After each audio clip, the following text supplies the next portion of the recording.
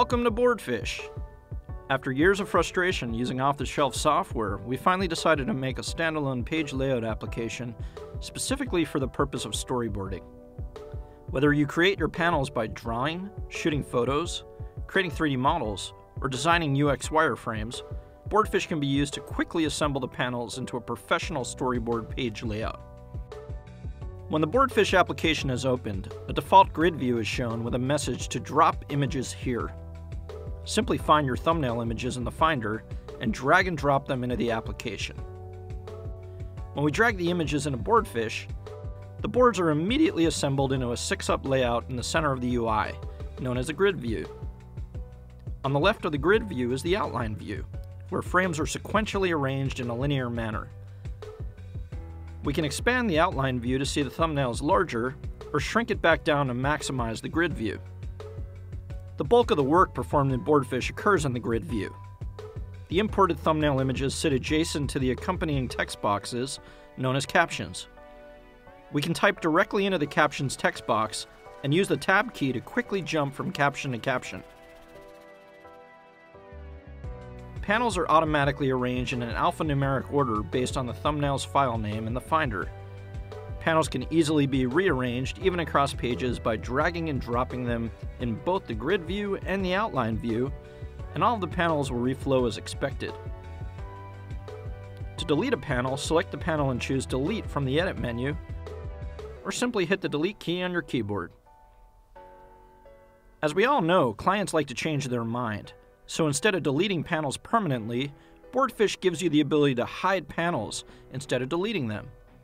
The hidden panels remain in your document's outline view with a red X and can easily be unhidden by control clicking on the thumbnail in the outline view to reveal the contextual menu. Here you will also find shortcuts to commonly used items from the File and Edit menu, as well as the ability to change the aspect ratio of the thumbnails in the outline view.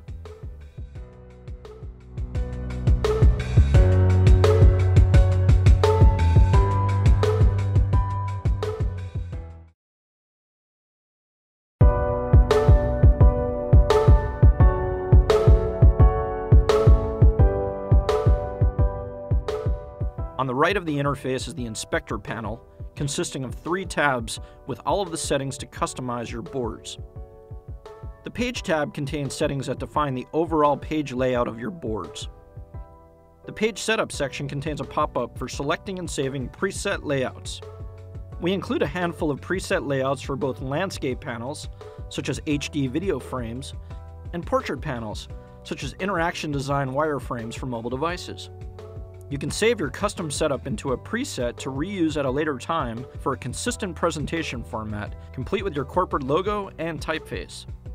The Page Size button opens a standard Mac OS X page setup dialog. Besides selecting a printer, this dialog is used to set the document size and aspect ratio used in your Boardfish document. By default, this is set to US letter with a landscape orientation. We can easily change the setup to a tabloid size and your document instantly reformats the panels to fit. You can zoom in and out of the grid view with Command plus and minus on your keyboard, and automatically resize the window with Command R. The panel layout section allows you to specify the number of horizontal and vertical panels in your grid view. The margins and gutters section allows you to control the spacing along the edge of the page, as well as the gaps between the panels.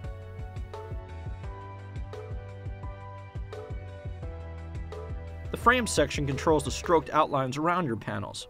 You can display strokes around the captions and or the thumbnail, and control the color of the fill and stroke, along with the thickness of the stroke.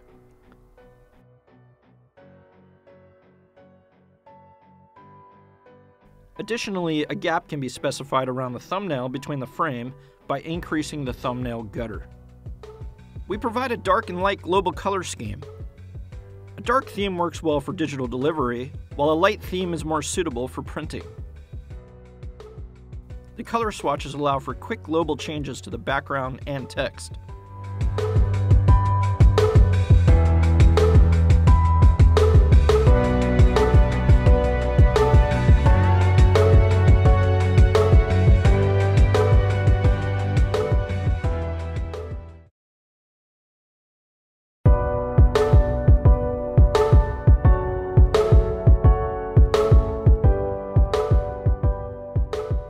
Panel tab contains everything related to the settings for individual panels, which consists of thumbnails, captions, and labels.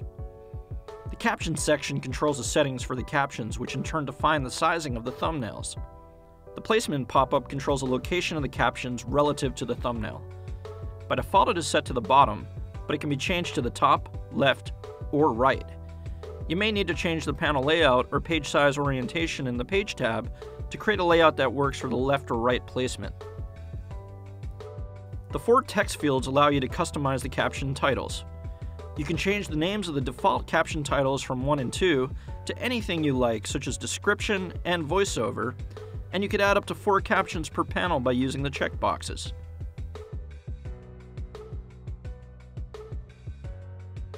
The caption font and caption title font buttons allow you to change the font and size for the text, and the adjacent color swatches set the color. The Justify Captions checkbox sets the caption titles to the right, making for cleaner line breaks when you have longer caption titles.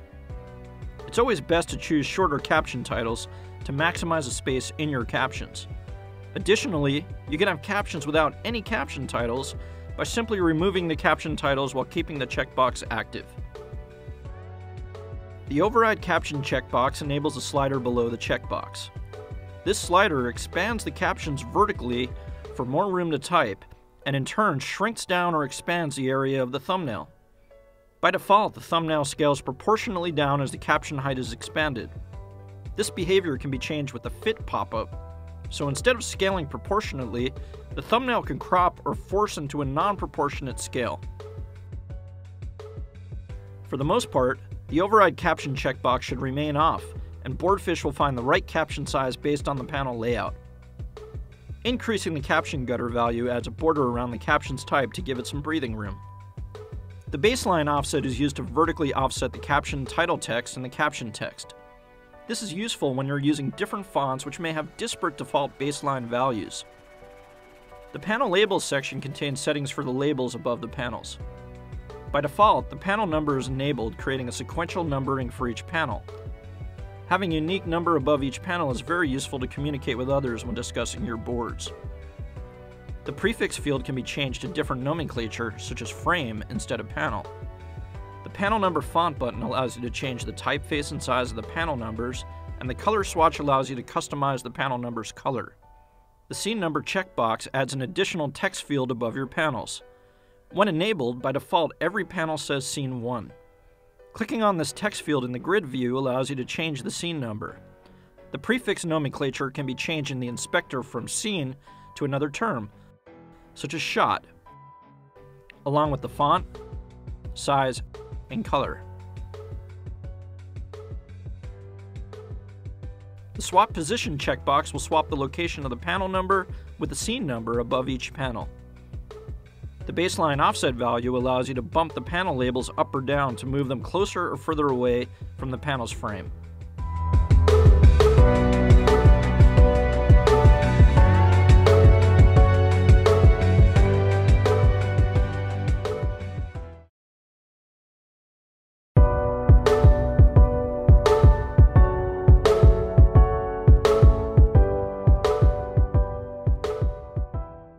The titles tab allows you to add titles and branding such as headers, footers, and title pages.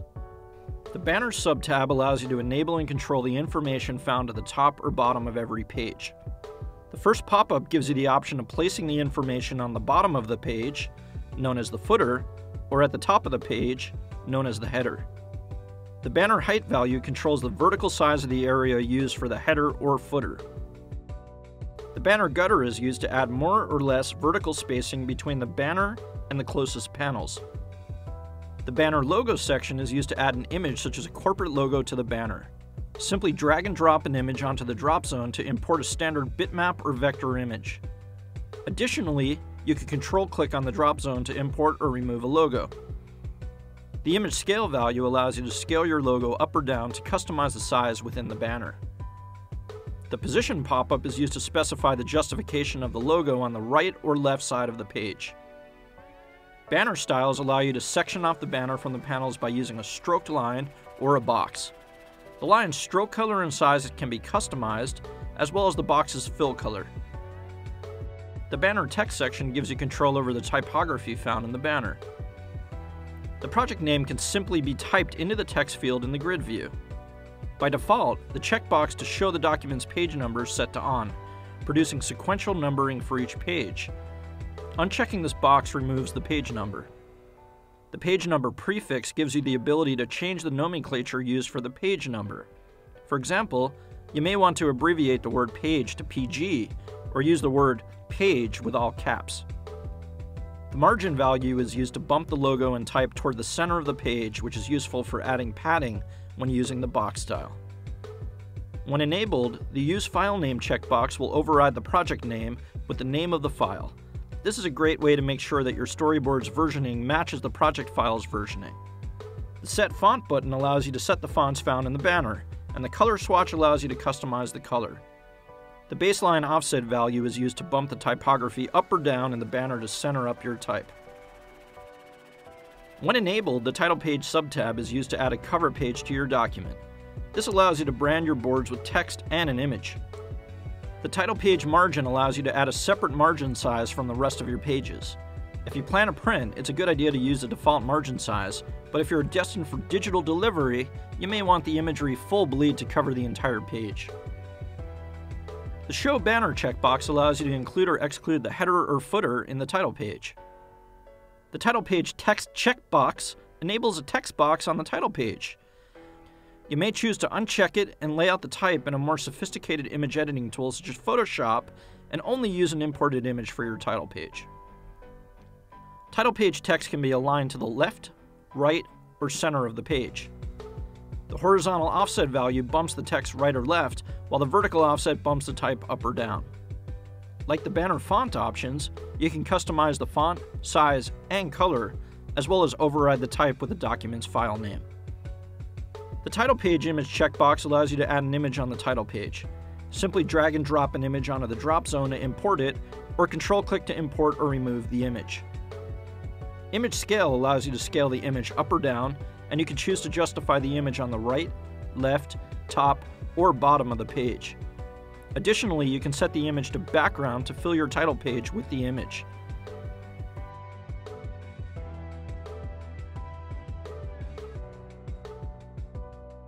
Finally, the horizontal and vertical offsets bump the image up, down, left, or right for precise alignment.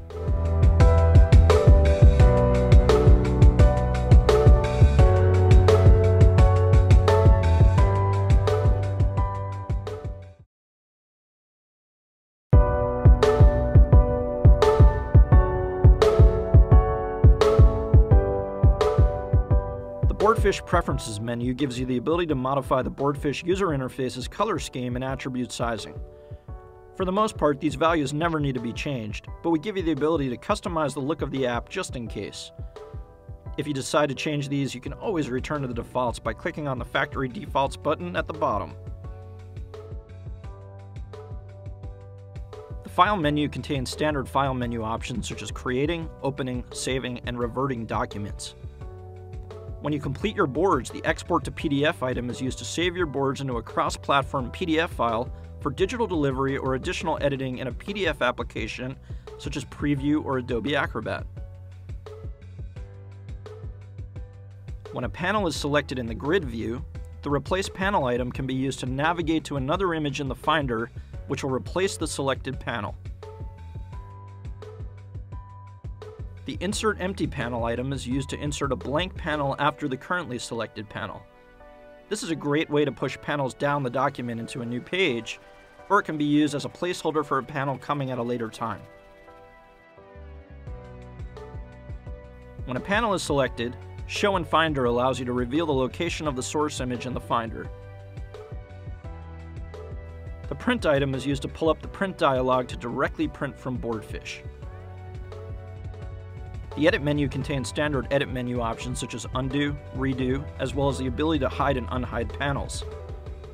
In addition, the spelling and grammar section can be used to spell check the text in your captions. The View menu contains options to customize the UI's view. By default, Boardfish is set to animated previews. This makes the UI responsive with animated reflowing of panels, but we sacrifice preview quality in exchange for this performance. This fast preview mode is only affecting the preview and does not affect the final exported PDF or print, which will always output at full quality. If you would like to see the full quality version of the UI without animated panels, you can switch to accurate previews in the View menu.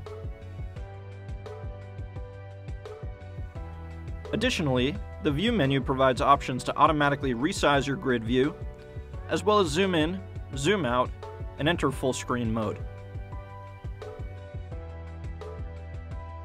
Finally, the Help menu brings up the Boardfish documentation in case you ever need help with specific questions. Thanks for taking the time to watch our guided tour, and we hope you enjoy using Boardfish as much as we do.